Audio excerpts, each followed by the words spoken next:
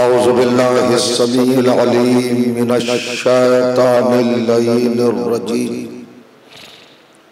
बिस्मिल्लाहिर्रहमानिर्रहीम अलहम्दुलिल्लाहि वस्सलातु अला अहलिहा ला सय्यमा अला सय्यदना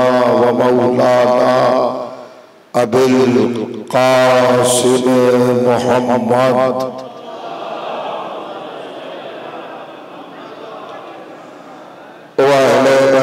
तय्यबीन ताहिरीन अलमासूरीन अलमज़लूमीन वल्लानतु दाइमतु अला आदाइहिम अजमईन मिन लैलना हाज़ा इला यौमिद्दीन अम्मा बअदु फ़क़द काला सुबहानहु व तआला बिस्मिल्लाहिर्रहमानिर्रहीम वला यऊदुहु हिफ्ज़ुहुमा व हुवल अलियुल अज़ीम सलावत।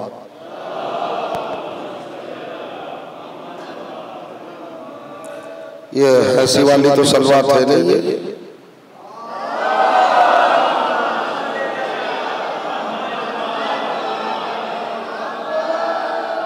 बुजुर्गान अज़ीज़ और बरदरान ईमान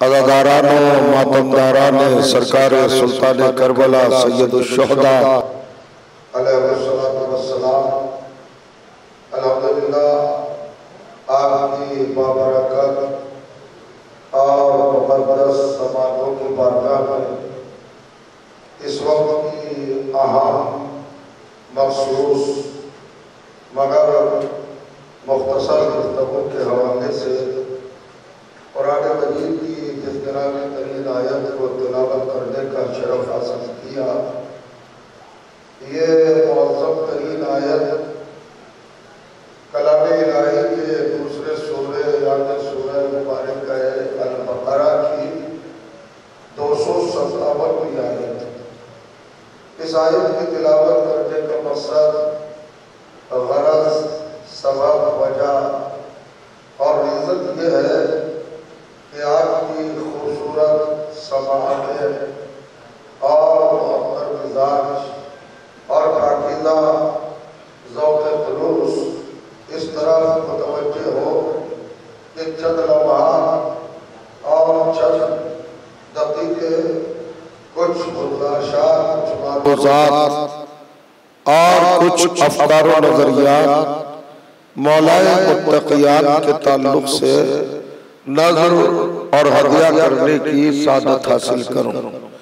आप सुबह से ज़िक्र अली, फजाइल अली, मनाकिब अली, सिफात अली, कमालात अली, जमालियात अली। और अली की ज़ात महासिन और बुलंदिया और उनकी अजमतों को समाप्त फरमा रहे हैं।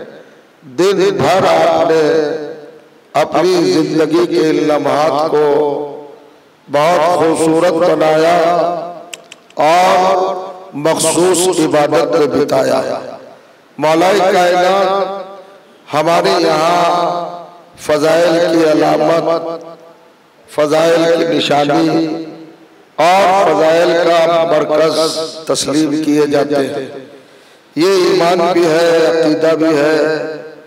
और हमारा सौ परसेंट इस बात पर इतमान भी है कि फजीलतों की आखिरी हद मेराज कहिए क्लाइमैक्स कहिए इंतहा कहिए ज़ाते मुर्तजवी है, ज़ाते अलवी है। लेकिन अली को समझने के लिए, अली को जानने के लिए, अली को पहचानने के लिए, अली के इरफान के लिए अली की मारिफत के लिए और अली से नजदीकी और तकर्रुब का शरफ हासिल करने के लिए इंसान को अपनी जिम्मेदारियों का एहसास करते हुए इस तरह आने की कोशिश करना चाहिए। देखिए एक जात होती है और एक नाम होता है। नाम जात को पहचानवाने का ज़रिया होता है। सबब होता है। वसीला होता है। और एक राबिता और एक सोर्स होता है। हमारे मौला का इसमें गिरामी क्या है? अली। कायनात में कोई भी वजूद कोई भी चीज़ या कोई भी शय ऐसी नहीं पाई जाती जिसका कोई नाम ना हो। नाम अलामत है निशानी है अलामत एक तारुफ का ज़रिया है और इरफान का वसीला है। और करिएगा, जब आप किसी चीज़ के बारे में सवाल करें कि ये क्या है तो ये क्या है तो क्लियर करने के लिए जिस चीज़ का इस्तेमाल हो, उसी को नाम कहते हैं। वही नाम होता है, वही इसम होता है, और वही इंसान की पहचान और सबब इरफान होता है। तो जो चाह दुनिया में कोई चीज़ है ही नहीं ऐसे जिसका कोई नाम ना हो। मेरे मौला का भी नाम है अली। और जब नाम की बात आ गई तो कोई नाम ऐसा भी नहीं जिसकी कोई मीनिंग ना हो जिसका कोई मतलब ना हो जिसका कोई मफहूम ना हो। अरे हद हो गई लोगों ने लफ्ज अल्लाह तक का मतलब बताया, मफहूम बताया, मीनिंग बताई, तर्जुमा बताया, ट्रांसलेशन बताया, उसका भी अनुवाद किया। अल्लाह किसको कहते हैं? अल्लाह वो ज़्यादा गिरानी है जो तमाम सिफात कमालिया और जमालिया, जहाँ पर जमा हो जाए, उस मरकज के एहसास का नाम अल्लाह है। तो मतलब तो बताया तो जो चेहरा बताया मतलब मफहूम बताया, माना बताया। भाई, आसमान का क्या मतलब है? का आसमान समूह से बना है। इसको समा कहते हैं। समा के माना बुलंदी के हैं। चूँकि ये हाइट पर है, बुलंदी पर है। इसलिए इसको आसमान कहते हैं। ये अर्ज़ है ज़मीन। आप जितनी भी चीज़ें देख ले, हर एक चीज़ का नाम आपको जब पेशे निगाह ज़ाहिर होकर अपना जलवा दिखाता हुआ नज़र आएगा तो उसके पहलू में उसके माना का एहसास भी होगा। और करिए आप आप देखिए साहब जनाब आदम अबुल बशर है सबके बाप है और कीजिएगा फादर ऑफ़ नेशन है। बताइए किसके बाप आई है आदम?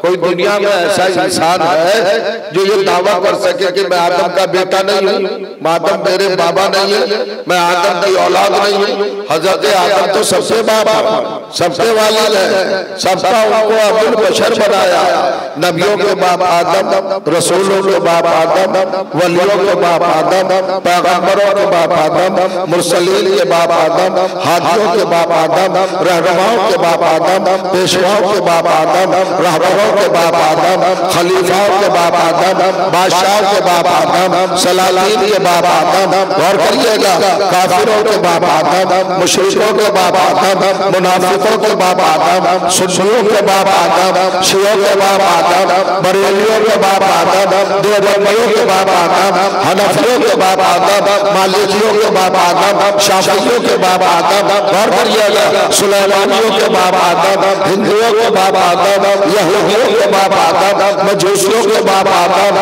अरे भाई सहाबियों के बाप आदम वहाबियों के बाप आदम किसके बाप है कोई है दुनिया में जो ये कह सके कि मेरा बाप आदम नहीं है मेरा बाबा आदम नहीं है सब आदम की नस्ल से है? तो हज़रत आदम सबके बाप है। मगर आज तक किसी ने बताया कि आदम का मतलब क्या है? आदम का मफहूम क्या है? आदम का डिफिनेशन क्या है? आदम की मीनिंग क्या है? आदम का तर्जुमा क्या है? आदम की हकीकत क्या है? अरे सब बेटे हैं आदम के। मगर किसी को ये शऊर और ये एहसास नहीं है कि अपने बाबा के नाम का मतलब बताए आदम किसको कहते हैं? कौन है आदम? जरा सा जागिएगा, किस मंजिल पे ला रहा मुझे मिम्बर की ज़िम्मेदारी अदा करना। आदम का क्या मतलब है? आदम अफल के बदल पर है। आदम दम कहते हैं अरबी में ब्लड को, खून को, लहू को। आदम का मतलब है खून वाला, जिसके अंदर खून पाया जाता तो भैया कहे में खून नहीं पाया जाता। क्या बैल में खून नहीं है? भैंस में खून नहीं है? गधे में खून नहीं है? घोड़े में खून नहीं है?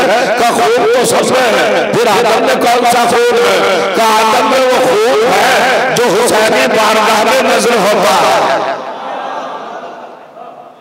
मिसल साहब और करिएगा अजीब मंदिर, हज़रत आदम ने खून खून वाले को आदम कहते हैं। आदम यानी दम वाला, बलद वाला, खून वाला। तो खून वाला तो भाई कौन सा वजूद जो ज़िंदा है? उसमें खून ना हो। हर एक वजूद में खून है। फिर आदम का नाम आदम तो पड़ा। असल लोगों ने कुछ छिपाने की कोशिश की है।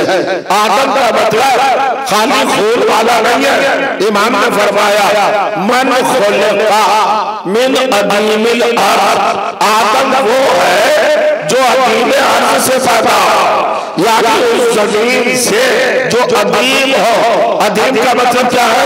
खून में डूबी हुई हो। एक मुस्तगरक है खून में उस ज़मीन से जो वजूद बने जो जात बने जो पर्सनालिटी बने जो हस्ती बने तो और जो शख्सियत बने जो पर्सनालिटी बने उसको लुगत में डिक्शनरी में अरबी अदब में अरबी लिटरेचर में अरबी जबान में अरबी लैंग्वेज में उसको आदम कहा जाता मन खोलेगा बिन अदीमिल हक अपनी जगह में बैठे रह जाएँगे। तो ये अदीम अर्ज़ क्या है?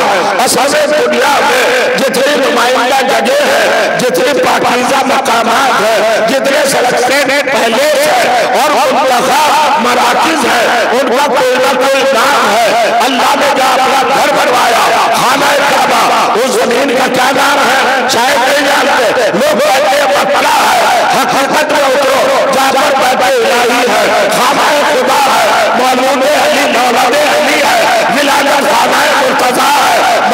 मौलाद जो है, अल्लाह का बैठे इलाही ज़मीन पर बना जाइए में देखे तफसीर में देखे तो आपको हैरत जिस ज़मीन पर बना उस ज़मीन का नाम है शराफतुल यानी जमीनों की सबसे ज़्यादा शरीफ ज़मीन। गौर करिएगा, चूँकि अली को आना था, इसलिए शरीफ बनाया। अली जहाँ आता है, शरीफों में आता है। कब जो जाना? और करेंगे सलमान जरा आगे बढ़ाइए आगे बढ़ाइए। आगे आगे बढ़ाइए आगे बढ़ाइए। सलमान मोहम्मद मोहम्मद बहुत देर हो गई मुझे जाना है। मैं बड़ी मफहूम खैर और पैगाम ये गुफ्तगू करना चाहता हूँ। क्या हुआ? आदम का जहाँ काबा बना है बैतुल्ला बना है उस ज़मीन का नाम क्या है? शराफतुल तवज्जो कीजिएगा। अब उसके आगे बढ़े। जहाँ सरकार दो आलम आराम फरमा रहे मदीना वो रोजा मुकद्दस जिस ज़मीन का बना उस ज़मीन का क्या नाम है? उस ज़मीन का नाम है करामतुल यानी जमीनों बुज़ुर्ग तरीन ज़मीन। और जहाँ आपके मौला मफून है नजफ अशरफ में, उस ज़मीन का नाम क्या है? तो जो गरबा कहते हैं, कायनात की गुंबद को, कायनात की पहचान को, कायनात की शनाख्त को बुलंदी की इंतहा को तो जो को यानी वो जगह जहाँ अली आज भी आराम कर रहे हैं उस जगह का नाम क्या है? उस जगह का नाम है बरबतुल तवज्जो कीजिएगा। अच्छा ये जहाँ जनाबे ईसा की माँ परवान चही उस जगह का क्या नाम है? मस्जिद अक्सा जहाँ पर बनी है, उसका नाम है कैदासतुल पाकीज़ा ज़मीन जहाँ बैतुल मुक़द्दस बना। सुन लिया, आप मुझे देख रहे हैं, असल में इल्मी बयान का माहौल तो रह नहीं गया। मगर मैं अपने दिल गुर्दे पर काबू पाकर आपको सोचिल पर लाना चाहता हूँ। काबा जहाँ बना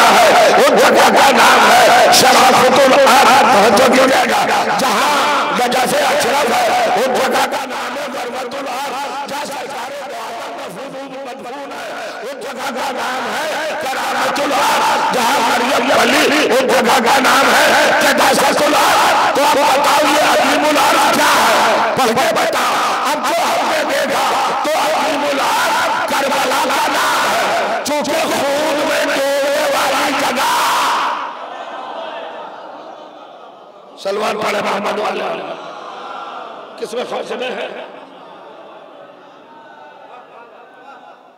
आ जाइए आगे आ जाइए आगे आ जाइए आगे आ जाइए इधर आ जाइए मेरे करीब मैं करीब आ जाइए सलमान पढ़े मोहम्मद और मोहम्मद पर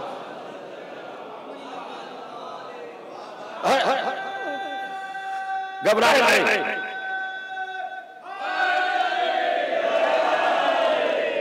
ये ये हाथ से तो मुसलसल तो अजीम का क्या मतलब? वो ज़मीन जो डूबने वाली थी, उस ज़मीन से आदम को बनाया। अजीम की ज़मीन का नाम है करबला का नाम। अब पता चला कि आदम को अल्लाह ने करबला की मिट्टी से बनाया, करबला की खाक से बनाया। अगर बैठे रह गए तो मजलिस पढ़ना छोड़ दूँगा। ये बताओ आपकी मालूमात कि आदम सबसे बड़े नबी हैं सबसे बड़े रसूल हैं सबसे बड़े पैगंबर हैं। अरे आदम रसूल नहीं है पैगंबर नहीं है उलूम नहीं है साहिब किताब नहीं है साहिब शरीयत नहीं है साहिब कलमा नहीं है साहिब उम्मत नहीं है। आदम खाली नबी है खाली खलीफा है उनसे बड़े बड़े अल्लाह ने आदम के अलावा किसी और को सजदा नहीं कराया। तो जो गिरेगा नूह को सजदा नहीं कराया। इब्राहिम को सजदा नहीं कराया। मूसा को सजदा नहीं कराया। ईसा को सजदा नहीं कराया। तो जो गिरेगा उसकी जगह जरा फैसला लें मज़ाक बात है। ये हकायत है, ये सदाकतें है। ये सच्चाइयाँ है। ये रियलिटीज है, ये पैगामात है। ये मैसेज है, ये बयानात है। ये पहलू है, ये रुख है। ये अल्लाह का एक सिस्टम है निज़ाम है। एक तहरीक एक मंसूबा है। एक अल्लाह का प्रोग्राम है। इस विषय को नजरअंदाज न करना। परवरदिगार, आदम तो सबसे छोटा नबी है। उसे सजा क्यों कराया? तो जो जाना मोहम्मद तो सबसे बड़े हैं, उन्हें सजा क्यों नहीं कराया का जिसे करबला की ज़मीन से बनाया, उसे सजदा कराया, जिसे खाके शफा से बनाया। और जो जाना जिसे खाके शफा से बनाया उसे और करिएगा ताकि जब कभी हुसैन वाले अपने मुसल्ले पर करबला की खाक की सजदा रखे।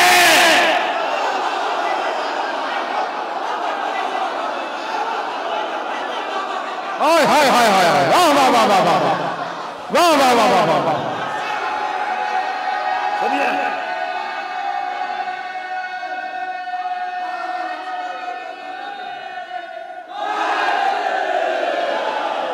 Fernando Delano! Chazador! ये मेरे कौम का मुस्तकबिल, ये फ्यूचर जरा महसूस करना, हम जो सजगा रखते हैं, अपनी नमाज़ में, अपनी जा नमाज़ में, अपने मुसल्ले में, अपने सज्जादे में, अपनी मस्जिद में, अपने सजदों को रोक देते हैं, जीनत देते हैं, खुशबूदार बनाते हैं, लायक कबूल बनाते हैं। अपने सजदों को सजदा होती है? तो लोग कहते हैं, ये सजदा क्यों रख रहे हो? और करिएगा, ये क्यों रख रहे हैं? इसलिए रख रहे हैं कि हमारा बाप आदम करबला की इसी मिट्टी से बना था और रसूल का कहना है, कुल्ला शहर में जाओ एला असल ही हर चीज़ अपनी असल की तरफ़ पलटती है।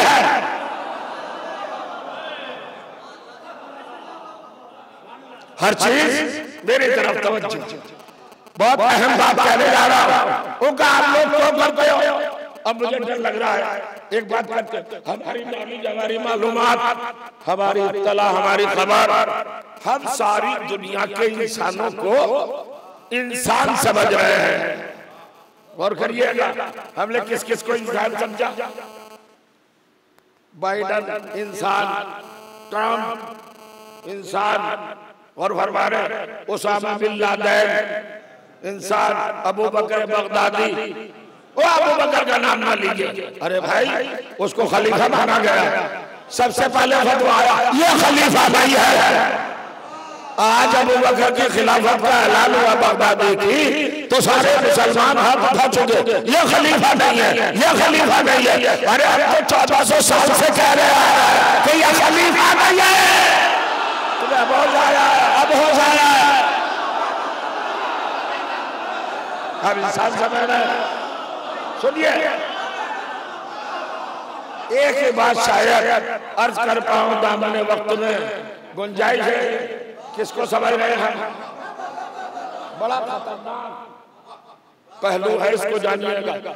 हमने दुनिया वालों ने सद्दाम को इंसान समझा। और फरमाने, दुनिया वालों ने दुबई के बादशाहों को, यमन के बादशाहों को सऊदी अरब के शैतानों को। क्या समझा? अच्छा मुसलमान कह रहे ये बादशाह। और बादशाह लिखवा रहे कुरान का खादिमुल हरमैन शरीफ है।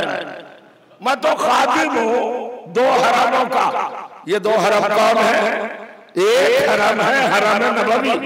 तो जो कीजिएगा तो मदीने में है मगर ये मक्के की बात करता है। एक अल्लाह का घर खाना काबा हरम।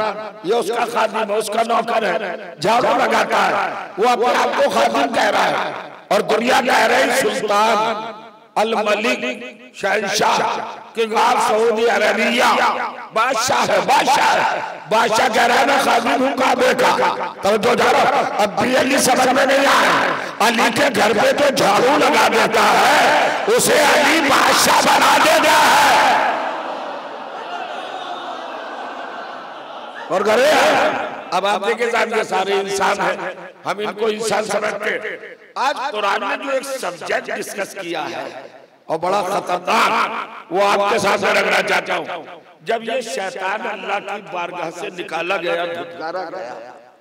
और टप टप टपटा गया इस पर लानत। अल्लाह ने अपनी जारी की का। फखरुज मिनहा। इन्नकर रजीम व इन्ना अलैका लानती। लानती। मेरी लानत। होगा, लानत, अल्लाह कह रहा लानती मेरी लानत, मैं पढ़ता हूँ लानत। आप कहते हैं, शिया है ये शिया, लानत पढ़ते लानत पढ़ते। कल ले जाएगा कुरान को। अल्लाह कह रहा मेरी लानत, इसका मतलब तेरा अल्लाह भी शिया हो गया। इन्ना लेखा लानती, कब तक? ठीक है, शैतान को अल्लाह ने निकाला, वहाँ से चला।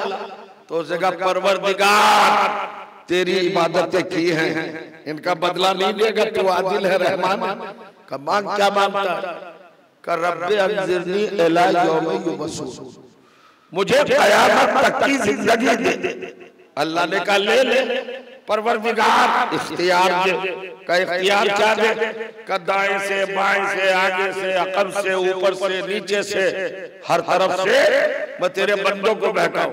का ये भी तुझे हमने कंट्रोल दिया, इख्तियार दिया। और मांग, क्या माँगता है का परवरदिगार, इंसानों के यहाँ, अगर एक बच्चा पैदा हो तो मेरे यहाँ दो। का ये भी माना, और क्या डिमांड है तेरी, बता। और मेरी डिमांड ये है परवरदिगार कि मैं सबको देखूँ मुझे कोई ना देखे क्या ये भी माना मानता जा रहा है अल्लाह। ये ले ये ले। ज़िंदगी कयामत तक की मांगी का वक्त मालूम तक की ले इख्तियार मांगा इख्तियार ने इख्तदार मांगा इख्तदार ने बच्चों की विलादत का मरहला आया वो भी ले ले सब कुछ। माँगता हुआ चला गया। अब नाजुक मामला है भाई। इल्मी बयान का तो कोई मौका ही नहीं है। मुझे मजलिस को भी संभालना है। आपको भी संभालना है। ताकि आप भी सुसुना हो। और करिएगा जब शैतान ये देखकर परेशान हो गया कि अल्लाह तो सब देता जा रहा है। और इसका दामन छोटा पड़ गया। अल्लाह ने इतना दिया कि इसका दामन छोटा पड़ गया और ये वहाँ से चला लगन होकर परवरदिगार का कहा क्या लेके चला? का परवरदिगार ज़िंदगी इख्तदार कंट्रोल काबू रसाई गलबा सब कुछ लेके चला। हूँ तूने मुझे दिया है। का दामन की क्या कैफियत है? भर गया बाबू। गुंजाइश? कहो गुंजाइश नहीं नहीं। एक इख्तियार हम दे रहे तुझे। शारिक फिल औलाद वल अमवाल। अपने वफादारों के माल में भी शरीक हो जा और औलाद में भी शरीक हो जा। संजीदा नहीं हो रहे आप क्या कहा अल्लाह ने? यहाँ इस गाजीपुर ज़िले की समातें बड़ी मज़बूत, बड़ी मशहूर और जाकिरीन के दरमियान बड़े तस्करे का सबब है। देखिए, अब आप थोड़ा सा सकूतरा कीजिएगा। क्या डिस्कस कर रहा हूँ? अल्लाह ने कहा, शैतान कहे में शरीक हो जा? इनके माल में और इनकी औलाद में किनकी औलाद में? अपने वफादारों की। तो अब इसका मतलब यह है आप तो समझदार हैं मिंबर के भी कुछ आदाब तहजीबें हैं। हर लफ्ज तो मिंबर पर नहीं बोल सकता। भाई साहब आप जीनियस हैं इंटेलेक्चुअल्स हैं। आप बेदार हैं जहीन है नाबिगा हैं आपको बताऊँगा मैं कि औलाद में शिरकत क्या होती है? ये तो आप खुद समझ रहे होंगे। शरीक हो जाओ औलाद में अब ये कुरान की कौन सी आयत है? सत्रहवा सूरा। सूरा बनी इसराइल, आयत नंबर चौसठ। Sixty four. जाके पढ़ो। अल्लाह ने कहा, शरीक हो जा। इन अपने वफादारों की तो अब दुनिया में इसका मतलब यह है कि इंसानों के घर में शैतान की औलाद पैदा हो रही है। पैदा ये कुरान क्या रहा है? जागे के नहीं जागे। समझाना पड़ेगा। गौर करिए अरे भाई, अल्लाह औलाद में शरीक हो जा। माल में शरीक हो जा। माल में शरीक होने का तो मतलब यह है कि माल के मसले में नंबर दो का माल कमवा दे, शराब बिकवा दे नजीब जानवर बिकवा दे, सूद लिवा है, सूद की आयत डलवा दे। ये सब कर सकता है। ये नंबर दो का माल माल में शरीक हो गया, शैतान। औलाद में कैसे शरीक हो? हमें नहीं है तो कुछ लोगों के यहाँ। शैतान की औलाद पैदा हो रही है परवाज चल रही है। लेकिन अब किसी के पास पैमाना नहीं, स्केल नहीं, मीजान नहीं, ज़रिया नहीं, सोच नहीं, राबता नहीं, अंदाज नहीं। कोई ऐसी चीज़ नहीं है कैलकुलेटर नहीं है कि जो देख के बता दे कि ये शैतान का बेटा है या इंसान का बेटा है। हमें सड़कों पे चलते हुए सब इंसान नज़र आ रहा है। मस्जिदों में सब इंसान नज़र आ रहा है। काबे में सब इंसान नज़र आ रहा है। हज में सब इंसान नज़र आ रहा है। इज्तमा में सब इंसान नज़र आ रहा है। तबलीगी जमातों में सब इंसान नज़र आ रहा है। अपनी हजरतों का जनाजा लिए हुए, अपने कंधों पर मायूसी की शक्ल में कदर जाते हुए ये तबलीगी लोग हमें इंसान नज़र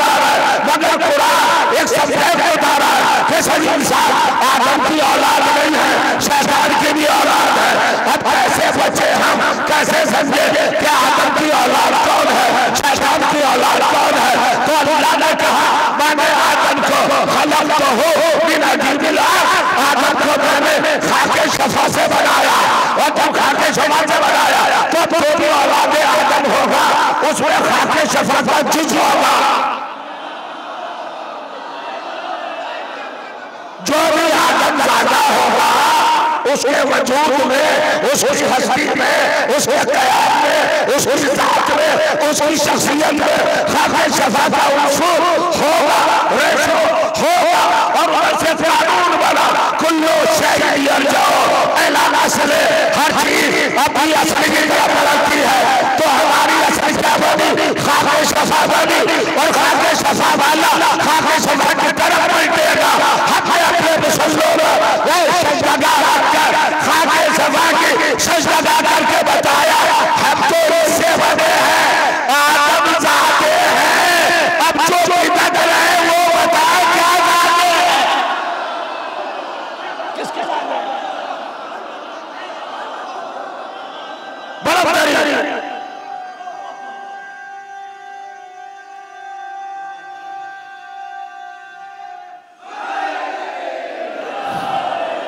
शायद महसूस नहीं किया। पूरे पर महसूस नहीं किया। मिम्बर बजाने की जगह नहीं है। तालियाँ बजाने की जगह नहीं है। बेमकसद जुमले बोलने की जगह नहीं है। मिम्बर है कुरान पढ़ने की जगह या हदीस बयान करने की जगह। यहाँ अपना ख्याल नहीं चलता। जो तुम्हारे ख्याल में आ जाए, वो अली नहीं हो सकता। अरे तेरा ख्याल तेरे दिमाग में है। अगर अली तेरे दिमाग में आ गया तो क्या जिसे अल्लाह के घर की दीवार में संभाल सके तेरे दिमाग का। अली आ जाए तो बात क्या है? जी। जरा बड़ा कभी सलमान पढ़िएगा रहमत वाला शायद आपने पहचान लिया अब मैं आपकी खिदमत में दो तीन मिनट के अंदर जो नतीजा जो रिज़ल्ट जो सबरा देने वाला हूँ वो बड़ा अहम है। हर चीज़ का आदम के माना क्या है? खून वाला। खून वाला। ही नहीं। मन खोले। जो करबला से बना। जो करबला की मिट्टी से बना। अब भैया आपको इख्तियार है। आदम का जो चाहे तर्जुमा करे। मैं तो नंबर से तर्जुमा कर रहा हूँ। आदम का सही तरीन तर्जुमा है, आजादा।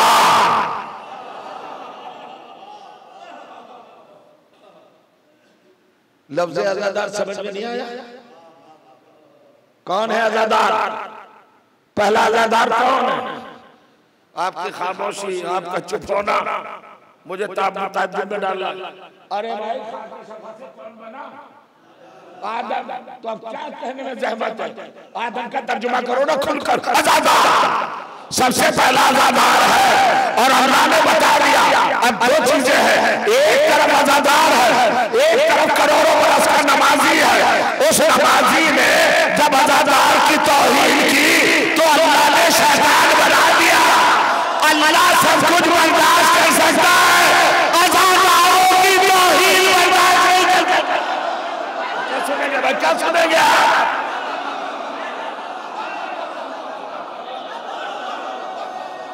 ये है।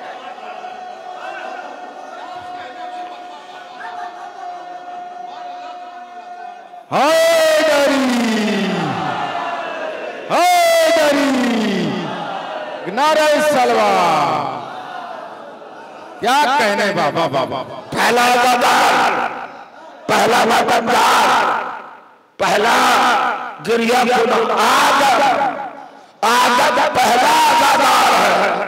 तो जो जा रहा मिट्टी से खाके करबला से खाके शफा से जिसका वजूद है, जहूर में आया हो, वो आदम पहला आजादार एक तरफ़ आजादार एक तरफ़ बहुत पक्का मज़बूत, पुराना जड़ियल कितना बड़ा नमाज़। अल्लाह ने कहा झुक इसके साथ में? खड़े झुक निकल, शैतान। तो परवरदिगार कह रहा है अजा खाने पर झुक जाओ। आजादारों के सामने झुक जाओ। ना अजा खाने की तोहिन करो और ना आजादार वो कही आजा खाने का कंसेप्ट क्या है? तस्वुर क्या है? सब कुरान में क्या लिखा है आजा खाना दिखाओ हमें। मैं मिंबर से नहीं उतरूँगा, खुदा मुझे मौत दे दे, अगर साबित ना करूँ, कुरान में आजा खाना। मगर एक बात बताओ, सुबह की दो रकत वाजिब है कि नहीं? है, दो कितनी रकत? तिहत्तर के तिहत्तर फिर फिर कितनी पढ़ रहे हैं? दो ही पढ़ रहे हैं। देवबंदी बरेलवी अलेवी शाह अरे फिर से क्यों पढ़ूं मैं? नाम लू सब तिहत्तर के तिहत्तर फिर फिर कह रहे पढ़ते सुबह दो हर चीज़ में जिदबाजी है। ये शिया ताबूत निकालते हम नहीं निकालेंगे। ये ताजिया निकालते हम नहीं निकालेंगे। जुलझना निकालते हम ये मातम करते हम नहीं करेंगे। तो शिया तो दो पढ़ते हैं। अब जिद में क्या मैं ढाई पढ़ूँगा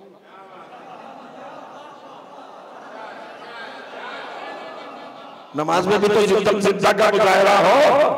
होकर राज़ी दो पढ़ते भाई हम तो डेढ़ पढ़े है ना? नहीं जिद्दम जिद्दा जिसके यहाँ जाइए दो ही रकत। अब मैं चैलेंज करता हूँ।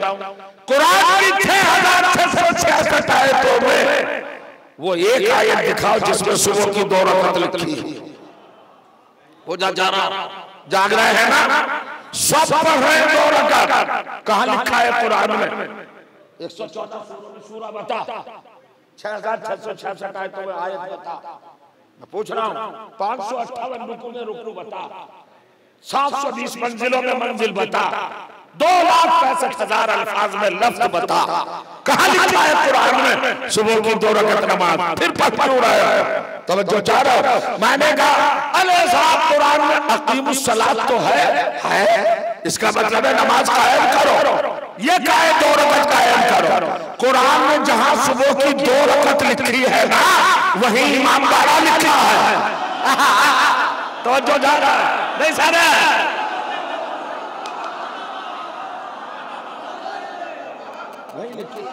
दिखा तो पहले नमाज़।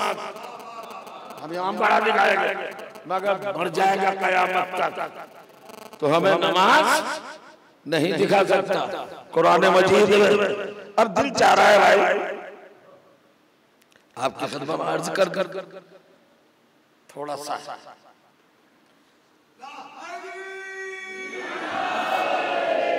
सत्य समाज को बढ़ाइए। मैं नहीं चाहता है कि लफ्ज भी आपकी समातों के हवाले ऐसा करूँ जो आपको कहीं खुदा न खास्ता शर्मिंदगी का सबब बने। नहीं इफ्तार के साथ सुनिए। उनका साहब का कुरान में दो रकत नमाज़ नहीं। अरे दो जोहर की चार भी नहीं। असर की भी नहीं। मगरबैन की भी नहीं।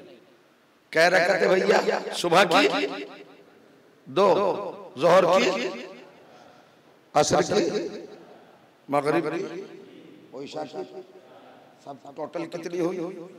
सत्रह। सत्रह का नमाज़ हुई ना। टाइम कितने? पाँच। टाइम कितने हैं? नमाज़ कितनी है? पाँच। अल्लाह ताला ने भी नमाज़ को पंजतनी बनाया है। बहुत सुस्त चल रहे हैं। तीन मजलिस सुन के थक गए। मैं चौथे नंबर पे आया हूँ। मेरी माजिद वही है जो किताबों में कुरान की है। सुनिए समझिएगा जरा मैं क्या कह रहा हूँ। कुरान का दावा क्या है नौजवानों? कुरान का दावा क्या है? हमने कुरान को जानना हो तफसीलन कुल्ले शय। हमने कुरान को हर चीज़ की तफसील बना दिया डिटेल बना दिया। ये दावा है चैलेंज है कुरान का। कुरान तो कह रहा है मैं तफसील हूँ। डिटेल हूँ। हर चीज़ की। और मुसलमान दो रकत नमाज़ लिए खड़ा है। कहाँ है कुरान में दिखा? कुरान तो तफसील है। और फिर लारत वलाया इल्ला फ़ी किताब मुबीन। हर खुश को तर। कुरान में मौजूद है। अरे भाई खुश को तर है तो दो रकत दिखा सुबह। तो जो चाह रहा हूँ। इसीलिए तो हम कहते हैं मत कहा करो कुरान काफ़ी है। जिसमें दो रकत नमाज़ ना मिले उसमें पूरा इस्लाम कहाँ से मिल जाएगा? दो रकत नमाज़ देख रहे हैं है कुरान में दो रकत? इतना संजीदा होने को नहीं मैंने आपसे अर्ज़ किया था। इतने सेंसियर न होइएगा जरा चलिए। नमाज़ कितनी अहम इबादत है। मैं मिंबर से पढ़ रहा हूँ हैसी के इस अजीम शान मिंबर से।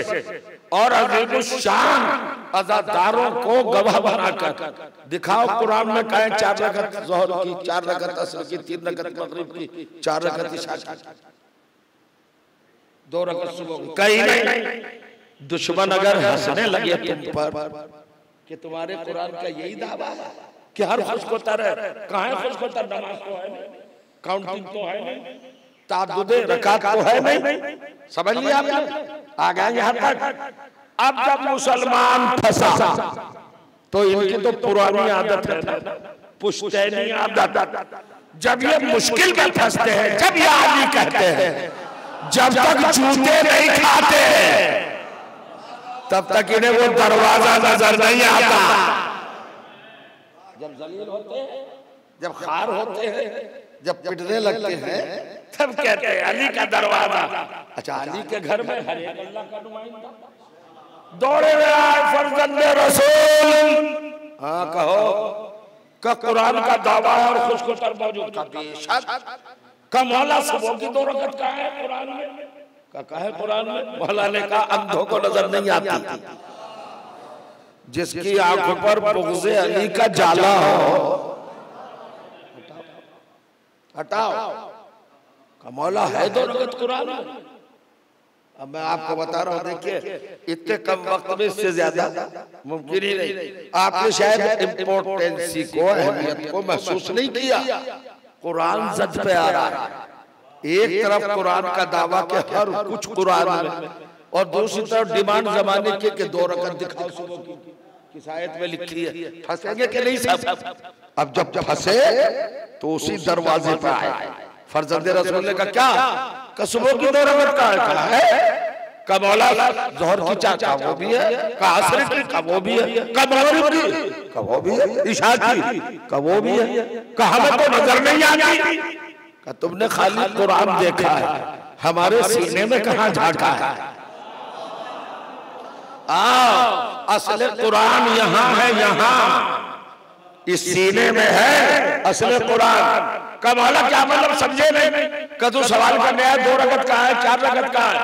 अब बताओ मुझे मेरे शहजादों, इतना बता दो कि नमाज़ वाजिब की कितनी कैटेगरी है? थ्री। ओनली थ्री दो रकत तीन रकत चार रकत है दो रकती नमाज़, तीन रकती नमाज़ और चार रगत ना वाजिब कोई नमाज़, एक रकत है, ना चार रकत से बढ़कर है। बस थ्री कैटेगरी और करिएगा। सुबह को दो रकत जोहर असर इशा चार रकत मगरिब तीन रकत तो जो चाह रहा हूँ दो तीन चार। अच्छा पढ़ लेते हो तो क्या होता है नमाज़ का? कहा जाती है डिस्ट्रॉय हो जाती है फना हो जाती है हवाओं में तहलील हो जाती है ज़मीन के ज़रूरत में मिल जाती है तबाह हो जाती है कहा जाती है नवाज़ कब इम्बर से कैसी बात कर रहे हैं अल्लाह की बारगाह में जाती है तो अल्लाह की बारगाह में कैसे जाती है इसके पैर तो है नहीं चल के कैसे जाती है अल्लाह ने फरिश्ते मुअय्यन किए हैं, जो नमाज़ लेके जाते हैं कुछ सुबह की ले जाते, कुछ जोहर की ले जाते, कुछ मगरिब ईशा की थोड़ा सा जाग रहे हैं ना? सुबह की क्या रकत है? दो फरिश्ता ले जाता है ना? हमने पूछा, काहे पे ले जाते हैं फरिश्ते? का आपने परों पे उठा शायद अगर कुरान के स्वरूप को पहचान लिया तो आज़ादी समझ में आएगी। ये मजलिस समझ में आएगी ये आजादाना समझ में आएगा। ये समझ में आएगा। कितनी रकत नमाज़ सुबह की? दो जोहर की चार असर की चार ईशा की चार और मगरिब की तीन। कौन ले जाता है? फरिश्ते कहे पर। परों। पर। तो पढ़ता हुआ है जो इमाम ने बताया। कहा देख कुरान में लिखा है नमाज़। थोड़ा सा आपको भी जागना पड़ेगा। आपको कोई थोड़ा ही छोड़ा जाएगा फ्री में। कुछ आप भी कोशिश करिए। सूरह फातिर कुरान मजीद का चौतीसवा सूरा थर्टी फोर आयत नंबर पहली। बिस्मिल्लाहिर्रहमानिर्रहीम अल्हम्दुलिल्लाह। फातिर समावात वाला। हम है उस अल्लाह के लिए, जिसने जमीनों को बनाया, आसमानों को बनाया। मलाइकत रसूलन, जिसने फरिश्तों को अपना नुमाइंदा बनाया, हमारी नमाजें लेने के लिए भेजा। कैसा बनाया? मसला अजरहतिन परो वाला बनाया। क्या बनाया फरिश्तों को? परो वाला बनाया। कितने परो वाला मसना, दो परो वाला सुलासा, तीन परो वाला रुबा चार परो वाला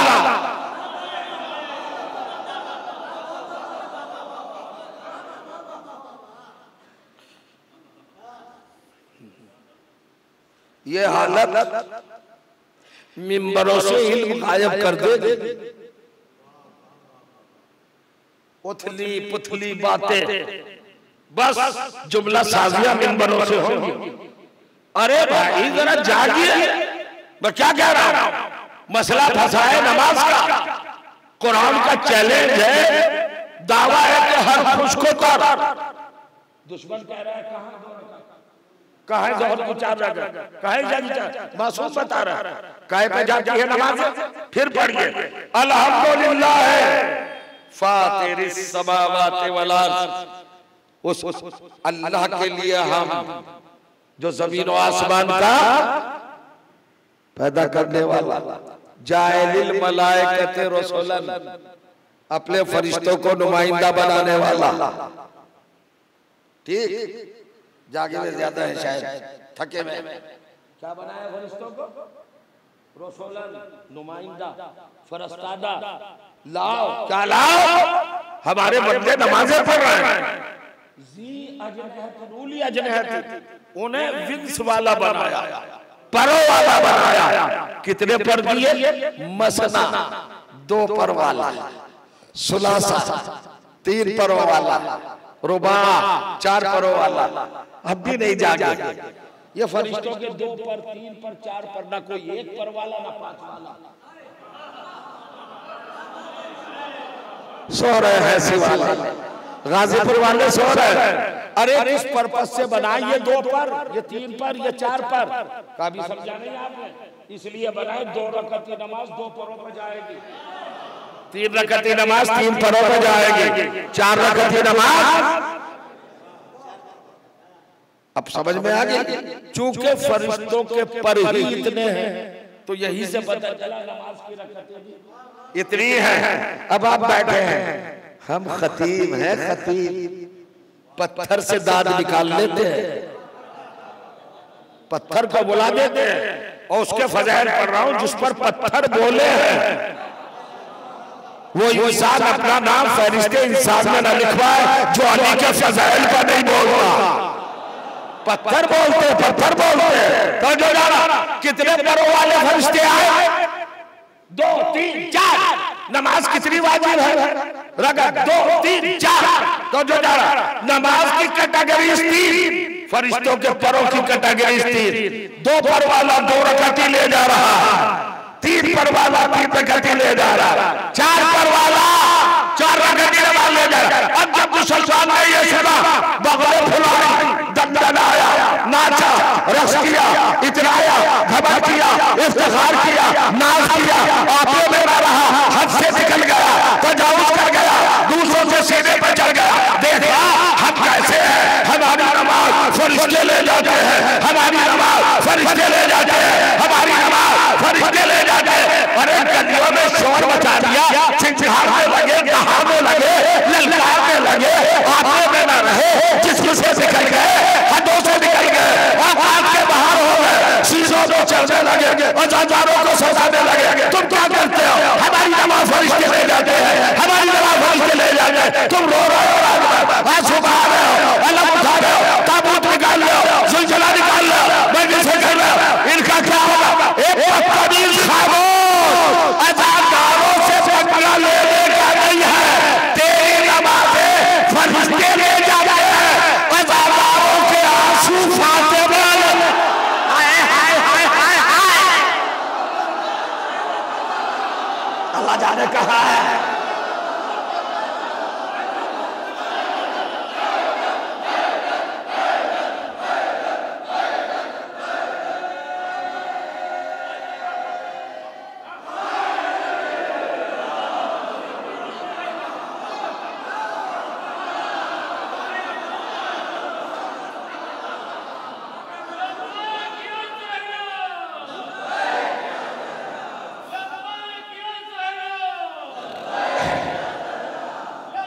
सलामत रहे आप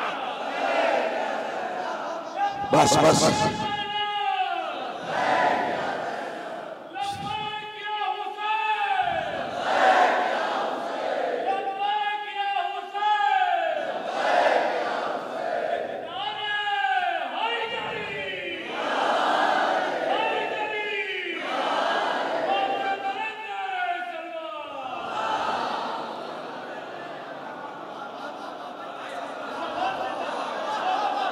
नमाजे। कहे रही है। जिब्राइल के और आँसू कहे पे परवाज कर रहे हैं, रूमाले जहरा पर। अब मैं आपको बताऊँगा आपको समझाऊँगा। अय्याम गम है, मगर मजबूर हूँ मिसाल देने के लिए। ये बताइए, चलिए, वो मिसाल नहीं देते ये ले लो। शब्ददारी हो रही है आजादारी हो रही है, एहतमाम किया। पड़ोस के करियों के लोग हैं?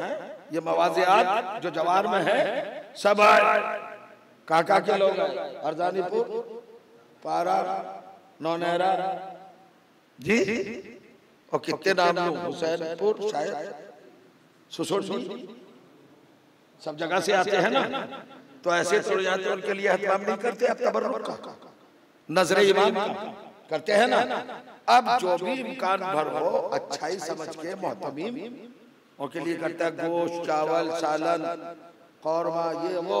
ठीक है ना मैं क्या अर्ज़ कर रहा हूँ समझ तो ये पक्का पकाए तो कैसे आता नहीं ये पकाना पड़ता एहतमाम जब करते तो क्या करते नमक लाना मिर्च मसाला घी के कनस्टर ये सारी चीज़ें आएँगी ना? कसाई से कहा जाएगा कसाब से गोश्त के लिए। कहीं से चावल की बोरी आएगी कहीं से आटा आएगा। जाएगा कौन? अगर अच्छे हालात है और घर में नौकर है उनका भैया जरा नमक ले आओ। भैया जरा आटा ले आओ। भैया जाके जरा चावल ले आओ घी ले आओ। नौकर को भेजा जा रहा है सामान किसे भेजा?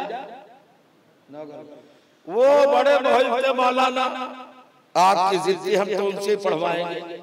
उन्होंने कहा मैं पढ़ूँगा तो मजलिस मगर मुझे सोने का ऐसा लॉकेट चाहिए जिसमें डायमंड लगा हुआ और बड़ा कीमती हो। अब वो सोने का लॉकेट उसके अंदर डायमंड तो जिससे नमक मंगाया था उसे भेजोगे। कि जरा सोने का लॉकेट ले आ डायमंड ले। कीमत पूछी, पता चला पाँच लाख का है। तो नमक तो आ गया दस बीस रुपए का। है, सब चीज़ें हज़ार के अंदर आ गया ये है पाँच लाख का। अब उसी से कहे क्या कहिएगा जो नमक लाया था जो चावल लाया था कि जब भैया लॉकेट लिया नहीं कजरा गाड़ी निकालो ड्राइवर साहब। अरे सरकार कहाँ जा रहे हैं? अरे जाइए मेरा महबूब फेवरेट फिरा रहा है उससे मेरा प्रॉमिस है। मैंने उससे वादा किया है कि मैं लॉकेट दूँगा डायमंड का उसमें गोल्ड का। पाँच लाख का आ रहा है। मैं जा रहा हूँ गाजीपुर ज्वेलरी के यहाँ वहाँ से लेके आप क्यों जा रहे हैं? जैसे सारा सामान मंगाया। कभी तुम नहीं जानते जो कब कीमत चीज़ होती है वो नौकरों से मंगाई जाती है। और जो असल होती है वो मालिक खुद जाता है। अब नमाज़ में और अजादारी में तकाबुल न करना। ये बताओ फरिश्ते कौन है? जिब्राइल कौन है? आवाज़ आई सैयदुल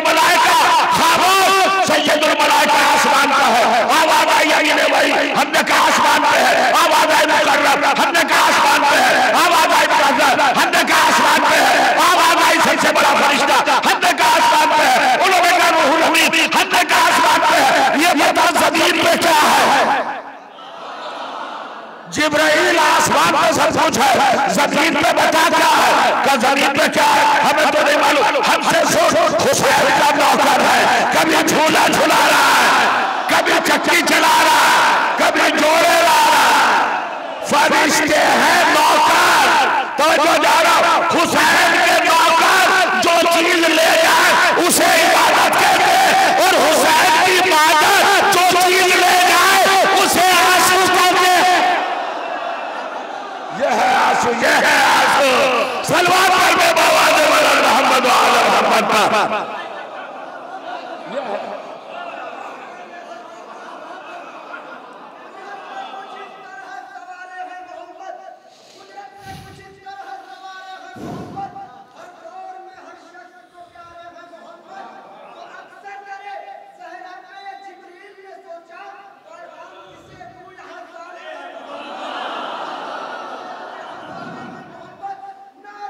बस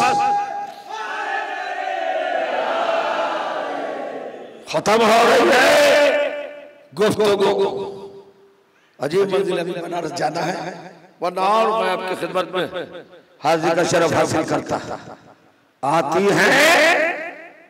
ये नहीं कहती, जिब्राइल आँसू ले आओ। मिकाइल आँसू ले नहीं। शहजादी खुद है आप गाजीपुर की बस्तियों से आए हैं। आपका आना कोई कमाल नहीं। फातिमा जहरा आती है। तब सोचो आती है। हमारा आप आए हैं मजलिस में। मैं आया हूँ ट्रेन से आया हूँ ऐसी था। सहूलतें थी यहाँ से ऐसी गाड़ी गई मुझे लेके आई। एहतराम के साथ। हमारा कौन सा कमाल? है मजलिसों में आना। उस दुखिया बीवी को देखो कि जो इस हालत में आती है कि पसलियाँ टूटी हुई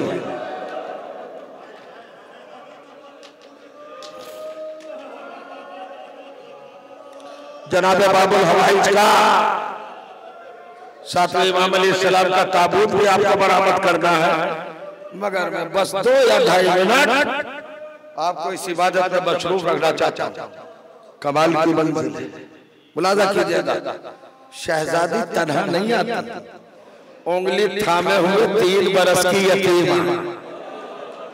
सकीना भी आती है। बच्ची दुआएँ देती है। एक जुमला अगर एहसास कर ले तो पढ़ो, वरना छोड़ दो। अजा खाने के बाहर खड़े होकर वो बच्ची देखती है। एक एक अजादार को। के आँखों के सागर आंसुओं से भरे हैं। और या हुसैन कह के रो रहे हैं। तो बच्ची दादी के हाथों को पकड़ के बोसा दे के कहती है, दादी अम्मा, इनके लिए दुआ कर दो। ये मेरे बाबा पे रो रहे हैं। मैं तो बड़ा डर रही थी। इन आँखों ने मेरी अजीब मंजर देखे हैं। जब मैं अपने बाप पे रोती थी तो शिव तमाचे लगाता था।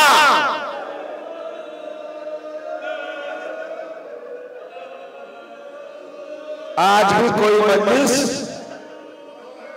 रोएँगे, रोते हुए उठेंगे कोई मजलिस। आले मोहम्मद पे क्या गुजरे? जाकिरीन ने आपको सुबह से मुसलसल फजाइल भी सुनाए मसाइल भी सुनाए। मोतबर मोहतरम मज़बूत और पुख्ता बयान से आपको नवाजा।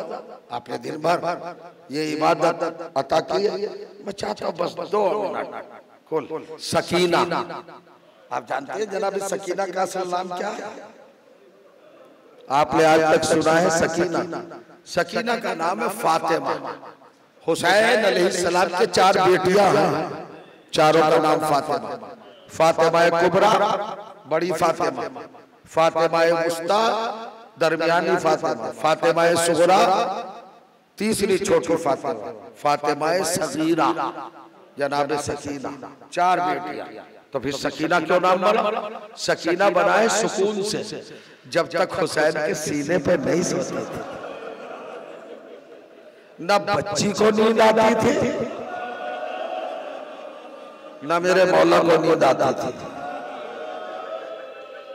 परवरदिगार इन आवाजों पर रहमत नाजिल कर। आलम क्या था? मैं मक्तल का वो पहलू आपके सामने रखना चाहता हूँ। जहाँ जनाब सकीना के परवान नाज नयम। और सकीना को किस तरह परवरिश किया गया? अब्बास गोद में लिए हुए अली अकबर आ गए। अली अकबर ने ले लिया। इमरान चचा। जाफ़र चचा। आते रहे अब्दुल्ला चचा। एक एक मासूम मुताहर हस्ती। सकीना को गोद में लेते रहे। मगर इस घराने में एक रिश्ता। जितना मशहूर मज़बूत और सहनों के करीब है है दूसरे रिश्ते इस घराने का रिश्ता है चचा और भतीजे का। चचा और भतीजे का फूफी और भतीजे का। देखें हज़रत अबू तालिब मोहम्मद मुस्तफ़ा चचा भतीजे। जनाब जैनब जनाब अली अकबर फूफी भतीजा। जनाब अब्बास जनाब सकीना। कितनी मोहब्बत है। मगर ये रिश्ता और ज़्यादा मज़बूत। चूँकि ये मरने के बाद भी ज़ाहिर होता रहा। आज की मजलिस में यही बताना है मरने के बाद ये रिश्ता ज़ाहिर हुआ है। तो जोगिएगा आज आपको ताबूत निकालना है अलग निकालना है बाबुल हवाई का ताबूत आज बरामद करेंगे। मगर हमारे यहाँ दो बाबुल हवाई एक मुझसे काजिम एक सकीना का चचा। तवज्जो कीजिएगा। सकीना में और हज़रत अब्बास में कितनी मोहब्बत है? आप मुझे देख रहे हैं शौक से और मैं वक्त गुजारता जा रहा हूँ। क्या मोहब्बत है क्या राबिता है क्या इस्तेकाम है? इस मोहब्बत को दो लफ्जों में बताना चाहता हूँ। जब यजीद घबरा कर अहले हरम को रिहा करता है चूँकि शाम में सकीना की शहादत ने इनकलाब बर्पा कर दिया। और जब सकीना दुनिया से चली गई तो यजीद ने सैयद सज्जाद को बुलाया। आज पाँच रबीउल गुजर रही है। कुल दो दिन है उस मेहमान को रुखसत करने में। जो दो महीने पाँच दिन पहले आया था। जरा दिलों को नर्म करिए, अपनी आँखों में आँसू भर दीजिए अजीब गरीब कह दिया बस। यजीद ने सैयद सज्जाद को बुलाया, रिहाई का। मुझदा सुना है कि आप रिहा होगा? ये बताइए आप यहाँ शाम में रहिएगा या मदीने जाइएगा? का यजीद फूफी से मशवरा कर। फूफी के पास आए। जनाब जनाब का सैयद मेरे बेटे मेरे गरीब मेरे वारिस हम अभी अपने शहीदों पर रो नहीं पाए। एक अजा खाना खाली कराओ। एक अजा खाने का एहतमाम करो एक मकान। मुहैया करो। वो सब कुछ हुआ। कब तबरुकात आए मैंने पढ़ लिया तैयार हो गया। अभी ताबूत आ जाएगा एक मिनट के बाद। करिए अजीब मंजिल तबरुकात में सबसे पहले गठरी आई जिसमें सैदानियों की चादरें थी। एक एक चादर जनाबे जैनब ने चादर की मालिका बीबी को सिफुल कर दी हवाले कर दी। चादरों के बाद मसरद रसूल आई चली उसके बाद गहवारा आया। उसके बाद अली असगर का वो कुर्ता आया जिस पर खूब उगला था। और चंद मिनट के बाद ऐलान हुआ। तैयार बैठे हो पढ़ो अजीब मंजिल है। अब खजानेदार चला। शहदा के कटे हुए सर। सबसे पहला सर इमाम हुसैन का आया। जनाबे जैनब ने बढ़कर हाथ में लिया। मातब हुआ गिरिया हुआ। थोड़ी देर के बाद अली अकबर का सर आया। जनाबे लैला ले लिया। उसके बाद जनाबे कासिम का सर आया। जनाबे में फरवा ने लिया। जनाबे अली असगर का सर आया। जनाबे रबाब ने लिया। एक एक बीबी अपने वारिस का सर ले नहीं रही। अहोगारी बुका एक अजीब गरीब है में, जब बीबियाँ अपने अपने के सरों पर आँसू बहा चुकी तो एक मरतबा सन्नाटा हुआ फजा में, खजीना दार ने उधर से बाबा जबरन का होशियार, खबरदार, अब उसका सर आ रहा है, जिसकी हैबत के बारे लश्कर सो नहीं पाता था फजाओं में सन्नाटा हुआ। एक संदूक खजाने से निकाला गया। उस संदूक के अंदर से एक सर निकाला। लेके चला जिंदाबाद उस सर को। मोहम्मद सलाम तीन बरस के हैं। उन्होंने देखा कि एक सर आ रहा है। सर की कैफियत क्या बड़ी बड़ी आँखें। ऐनुल्लाही आँखें हैं। ऐनुल्लाह का देखा है। अब्बास है, बड़ी बड़ी आँखें उजाला फैलाती हुई आँखें तनवीर निकल रही है, नूर निकल रहा शुआएँ निकल रही है। मोहम्मद बाकर देखते रहे कि आँखें खुली हुई है, लेकिन जब जायद खाने से चला जिंदान से चला तो आँखें खुली थी। आगे आया तो आँखें खुली थी। हाथों पे आया तो आँखें खुली थी। मोहम्मद बाकर देखते रहे इस सर को, लेकिन जैसे खाने के करीब आया, फ़ौरन आँखें बंद कर ली। मोहम्मद बाकर पलट गया जनाबे जैनब के पहलू में गिरे, दादी, अल्लाह, ये सर किसका है?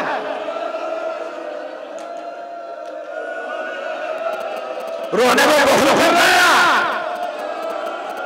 फातिमा रुमाल लेके आवादा है। न जाने किसके पहलू में बैठी होगी। तो दादी, अम्मा। ये सर किसका? है का मेरे लाल क्यों घबरा रहा है? का मैं आया हूँ? का बेटे क्या देगा? कि जब ये जिंदार के अंदर से से, जखीरे से, खजाने के रूप से, कमरे से, जब ये सर चला था आँखें खोली हुई थी। लेकिन कैद जैसे ही आया। आँखें बंद हो गए जनाब सर दोनों हाथ मारे। और कहा, मेरे बाबे ये हिजाब जैनब का सर है का दादी अम्मा का ये मेरे पर्दे के मुहाफिज का सर है। ये मेरे गयूर अब्बास का सर है। आ गया सर। खत्म मजलिस। आधा मिनट अभी ताबूत आ जाएगा। अभी आप गिरिया करेंगे मंजूमने पढ़ेंगी। आप अपना ज़िम्मेदारी का सिलसिला जारी रखेंगे। आ गया सर। अब हज़रत अब्बास के सर के साथ वो मामला दूसरे सरों के साथ इस सर को हर बीबी ने लिया।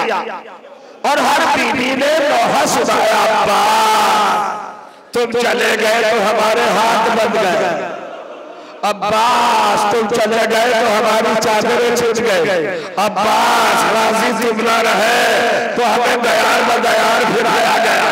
एक औराम हुआ और सौदारियों पर रिक्कत तारी हुई। सैयद सज्जाद को एहसास हुआ कि कई सैदारियाँ मर न जाए। आगे आए और आने के बाद का फूफी अब्बा मेरे चचा का सर मुझे दे दो। बंदिश खत्म हो रही है। सर को लिया कैद खाने के उस हिस्से की तरफ़ चले जहाँ अंधेरा था। चंद मिनट का बुज़ुर्ग थी कि कैद खाने के शत्रु टकराने लगे। मैं मसाए कर रहा हूँ मसाए शत्रु टकराने लगे, दीवारें टकराने लगे, जलजला आने लगा, ज़मीन हिलने लगी सीनों में ताकत हो तो जरा संभालना। मेरी माए बहने सुने शहजादियाँ सुने, टकराने लगी, दीवारें खाने की। जनाब अपने मुस्तरिब हो होगा माँ की फिजा कहा शहजादी का जलजला आ रहा है? धक धक रहा है का बीबी मैं भी देख रही हूँ। सालिया जरा देख रही है। एक जुमला ने बर्दाश्त जरा फिजा जाके तो देखो। मेरा सैया मेरे अब्बास का सर कैद खाने के अंधेरे हिस्से में ले गया था। ऐसा तो नहीं है। कहीं मेरे बीमार ने अब्बास का सर सकीना की कब्र पे रख दिया वो सकीना